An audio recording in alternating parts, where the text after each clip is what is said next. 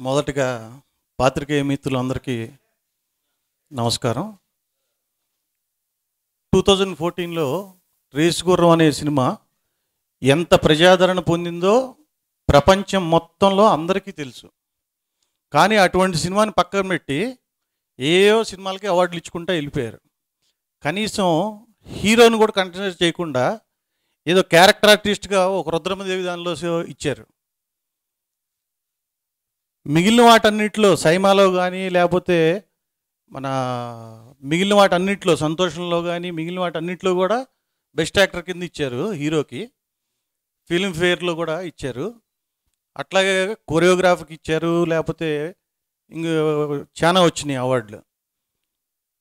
కానీ ఈ Nandi award committee ఎట్లా ఉందంటే కమిటీ కానీ ప్రభుత్వం కానీ వన్ సైడ్ అన్నమాట. వాళ్ళంతా వాళ్ళకి ఇష్టం వచ్చినట్టు వాళ్ళు వన్ సైడ్గా చేసుకుంటున్నారు. కొంతమంది ప్రొడ్యూసర్లు పిచ్చిగా మాట్లాడుతున్నారు. ఆ పిచ్చిగా మాట్లాడే వాళ్ళకి ఒకటే చెప్తున్నా. నువ్వు ఒక హిట్ సినిమా తీ ఫస్ట్. దాని తర్వాత తెలుస్తుంది నీకు బాధ. ఇక్కడ మెగా ఫ్యాన్స్ అని కానీ లేకపోతే ఇంకోళ్ళు ఇంకోళ్ళు కాదు.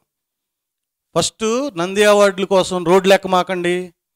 ఇవన్నీ మాట్లాడిన వాళ్ళకి ఒకటే చెప్తున్నా. పిచ్చిగా మాట్లాడమాకండి. నువ్వు ఫస్ట్ ఒక హిట్ సినిమాది హిట్ సినిమా తీస్తే దాని పెయిన్ దాని బాధ ఏంటో తెలుస్తుంది. అంతేగాని నీ ఇష్టం వచ్చినట్టు ఫోన్లు తీసుకొని నంది అవార్డులకు రోడ్లు లెక్క మాకండి అది చేయమాకండి ఇది చేయమాకండి ప్రజాదరణ పొందిన సినిమా అంటే ఏంటి? వంద కోట్లు పైన కలెక్ట్ చేసింది రేసుగురం అనే సినిమా. ఇంకా అంతకన్నా ఏం చేయాలి ఆ హీరో సినిమా? ఉన్న సక్సెస్ రేట్ పర్సంటేజే ఎయిట్ పర్సెంట్ నుంచి సెవెన్ పర్సెంట్ ఉంది. దానిలో ద బెస్ట్ సినిమా తీసి కొరియోగ్రాఫ్కి ఇవ్వచ్చు లేకపోతే ఫోటోగ్రఫీకి ఇవ్వచ్చు లేకపోతే హీరోకి ఇవ్వచ్చు హీరోయిన్కి ఇవ్వచ్చు ఆ, రేస్ గురం సినిమా వేసుకొని చూడండి. Quality of the film twenty four క్రాఫ్ట్స్లో చాలా బ్రహ్మాండంగా తీసిన సినిమా నా కెరీర్లో అటువంటి సినిమాకి వాళ్ళు ఇష్టం వచ్చినట్టు ఏదో కంటి తుడుపులాగా ఒక రెండు అవార్డులు ఇచ్చేసి గాయనికి ఒక అవార్డు ఇంకొక అవార్డు ఇచ్చేసి కామెడియన్కి ఒక అవార్డు ఇచ్చి ఏం పంచుతున్నారా ఏంటి మీరు? తీసిన దాన్ని గుర్తించమండి అని చెప్తున్నాం అంతే. మీరందరూ గవర్నమెంట్ ఆఫ్ ఆంధ్రప్రదేశ్కి ఒకటే చెప్తున్నా. ఈ అవార్డులన్నీ ఎందుకు కోరుకుంటామండి మేము? జనాలు మెచ్చారు. జనాలు మెచ్చిన సినిమాని ప్రభుత్వం కూడా గుర్తిస్తే మాకు ఇంకా ఇన్స్పిరేషన్ కూడా ఇంకా మంచి సినిమాలు తీయాలనిపి అని అనిపిస్తుంది. అంతేగాని ఏదో కంటి తుడుపుగా రెండు వాళ్ళకి ఇవ్వండి లేకపోతే బెస్ట్ ఇట్లా చేసుకోండి అని చెప్పి చేయటం కాదు కదా కాదు కదా. జ్యూరికి కూడా ఒకటే చెప్తున్నాం.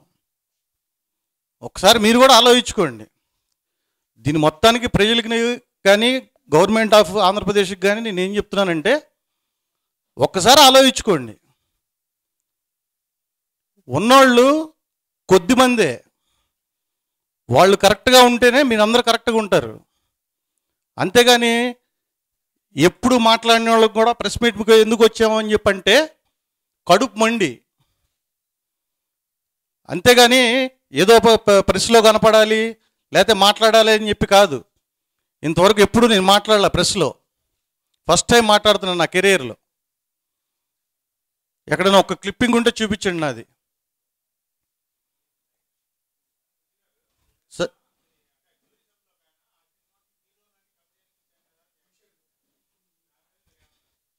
జ్యూరీ వాడు ఎవరు సార్? ఇది చేయటానికి? జ్యూరీ అతను ఎవరు? అతని ఏజ్ ఎంత? ప్రజలు చెప్పాలి తప్పితే. అదేనండి అతను ఒక్కడే చెప్తే దానికి సమాధానం చెప్పాల్సిన పని లేదు నాకు.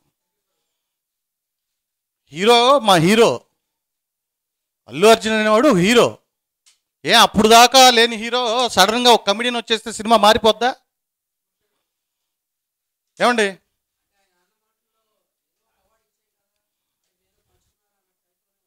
పంచుతున్నారని చెప్పారు కదా సార్. మొత్తం కమ్మలా ఉంది సార్ మొత్తం.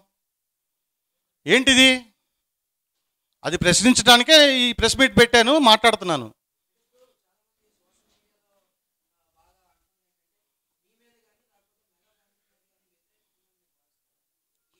సార్ ఎవరి మీద వ్యతిరేకత ఉందా లేకపోతే ఇంకోటి లేదా అని చెప్పి నేను మాట్లాడట్లేదు సార్.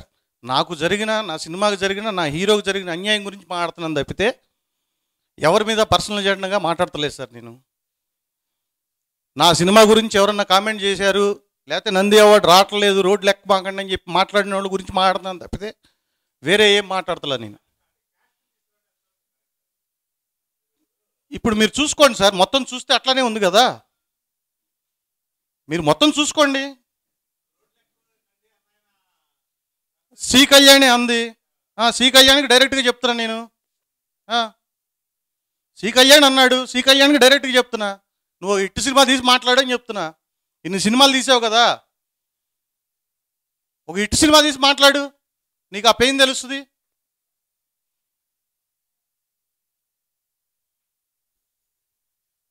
Any questions